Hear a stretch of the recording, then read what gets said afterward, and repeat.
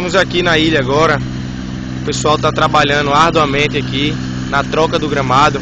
Estamos aqui com o Flávio, que é o agrônomo responsável pela empresa que, que forneceu a grama, né? Que está fornecendo a grama ao esporte. Flávio, boa tarde. Boa tarde. Vocês estão trabalhando muito aqui, né? A gente passa aqui na ilha, vê refletor aceso, trabalho dia e noite, né? É, estamos trabalhando aqui desde quinta-feira e estamos trabalhando até 10, 11, 12 horas da noite para concluir o serviço o mais rápido possível, porque o tempo é curto até o primeiro jogo no dia 18. Então, quanto mais cedo nós terminarmos o plantio, melhor o gramado vai estar no dia da estreia.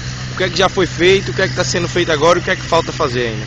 Tá, foi feito a colocação de um colchão de areia sobre o gramado antigo, né, que foi retirado, no melhor acondicionamento do gramado e depois viemos com os rolos de grama para efetuar um plantio aí mais rápido, que é um plantio mecanizado e você consegue plantar num curto espaço de tempo e também entrar no gramado para realizar uma partida mais cedo também.